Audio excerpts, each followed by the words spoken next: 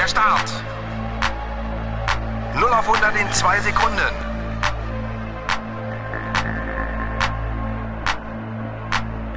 Los geht's! Schumacher.